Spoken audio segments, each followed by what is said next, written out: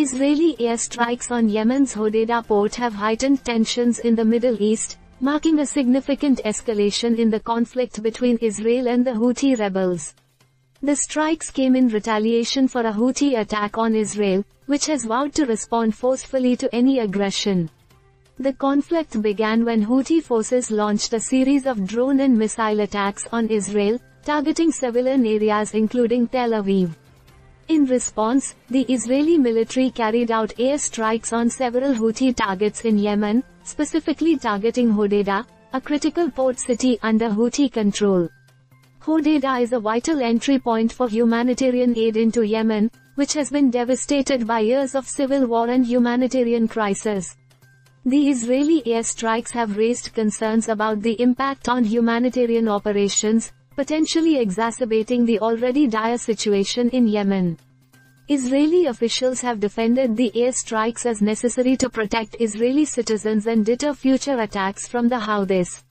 They have accused the Houthis of using Yemeni territory as a launching pad for attacks on Israel, posing a direct threat to Israeli security.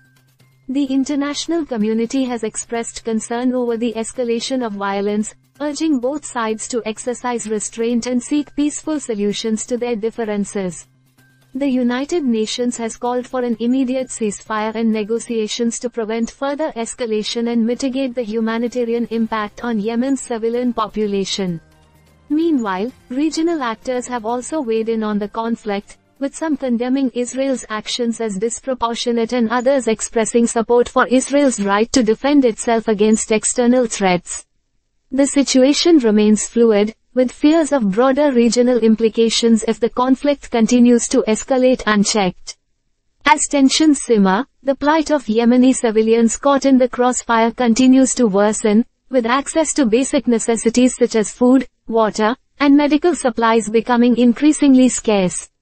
Humanitarian organizations have warned of a looming catastrophe if the conflict intensifies further, exacerbating what is already considered the world's worst humanitarian crisis.